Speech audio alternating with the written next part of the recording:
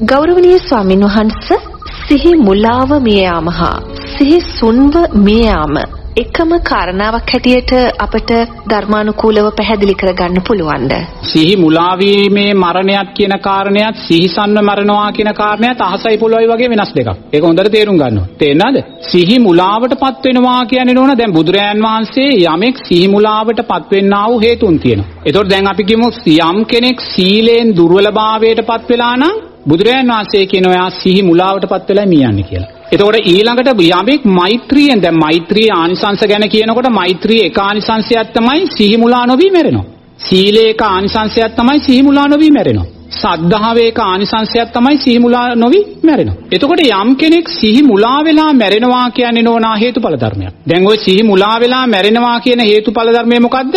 සද්ධාවෙන් දුර්වලයි, සීලෙන් දුර්වලයි, මෛත්‍රියෙන් දුර්වලයි. මේ හේතුඵල ධර්මයන් නිසායි සිහි මුලා වෙලා මැරෙන්නේ. යමෙක් හොඳ සිහියෙන් මැරෙනවා කියන්නේ එයා සීලෙන් සද්ධාවෙන් මෛත්‍රියෙන් පරිපූර්ණ කෙනෙක්. ඒ කෙරේ දක්ෂ කෙනෙක්. තේරෙනවද? දැන් අපි දකිනවා සිහි මුලා වෙලා මැරෙන අප්‍රමාණ පිරිස් ඉන්නවා. දැන් සමහරවල් රෝහල් ආශ්‍රිතව අපි දැකලා තියෙනවා සමහරු මැරෙන මොහොතේ නොවන අප්‍රමාණ දුක් විඳිනවා. කූ තියනවා කෑ ගහනවා අතපය බැඳලා ඉන්නේ අප්‍රමාණ වේදනාවෙන් යටිගිරියෙන් කෑ ගහ මැරෙන අය ඉන්නවා. මේක තමයි සිහි මුලා වීමේ මරණය. තේරෙනවද? එතන මේ සිහි මුලා වීමේ මරණය සකස් වෙන්නේ කුමක් නිසාද? එක්ක මෛත්‍රිය දුර්වලයි, එක්ක සද්ධාව දුර්වලයි, එක්ක සීලය දුර්වලයි, එක්ක මේ තුනම දුර්වලයි. තේන්න? එතකොට මේ යමෙක් සිහි මුලා වෙලා මැරුණා නම් එයාගේ ඊළඟ උපත නෝනා දුගතියටයි අයිති. ඒක හොඳට තේරුම් ගන්න. බුදුරජාණන් වහන්සේ කියන්නේ මම නෙමෙයි. යමෙක් සිහි මුලාවටපත් වෙලා අවසාන මොහොතේ මැරුණා නම් එයා සිහි මුලා වෙලයි මැරුණේ. අවසාන මොහොතේ හරි අපිට පේනවා මෙයා ධර්මයක් ගලපගත්තේ නැහැ කියලා.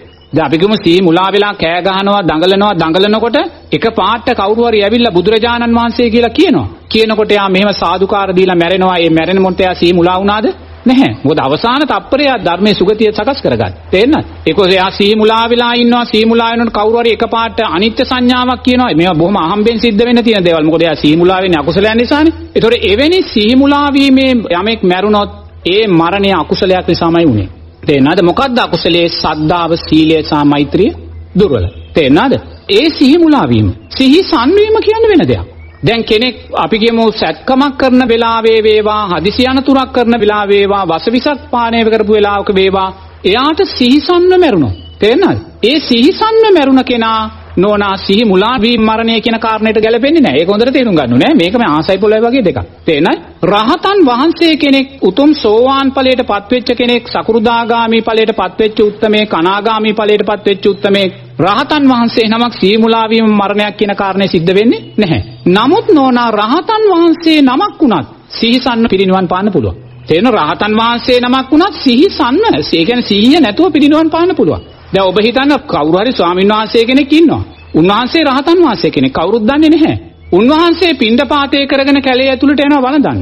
යනකොට කැලේ ඇතුලේ ඉන්නවා අර ජාවාරම් කරන අය, ගස් කපන අය, මැණික් ගන්න අය, දඩයම් කරන අය. මේ ජාවාරම්කාර මහත්තුරු දකිනවා මේ හාමුදුරුවෝ කැලේට ආවොත් අපිට මේක කරන්න බෑ. නමුත් ඒගොල්ලෝ දන්නේ ධර්මය ගැන සංඝයාට ගරුත්වයක් නැහැ. ඒගොල්ලෝ පොල්ලක් අරගෙන ඒ ස්වාමීන් වහන්සේගේ හිසට පාරක් ගන්නවා. රහතන් වහන්සේ කෙනෙක් උනෝ සී නැති වෙන්නේ නැද්ද? ඒතකොට උන්වහන්සේ රහතන් වහන්සේ කෙනෙක් කියලා අර මහත්තුරු දන්නේ නැහැ. ඒගොල්ලෝ මේ හාමුදුරුවෝ ආවොත් අපිට කරදරයක් කියලා පොල්ලක් කරන් ඔලුවට ගහනවා ගහන වෙලාවෙම සිහිසන්ව ඒ රහතන් වහන්සේ වැටෙනවා. සිහිසන්ව වැටිලා සිහිසන්වම සිහිය නැතුවම උන්වහන්සේ අපවත් වෙනවා. තේන්න? නැවත සිහිය එන්නේ නැහැ.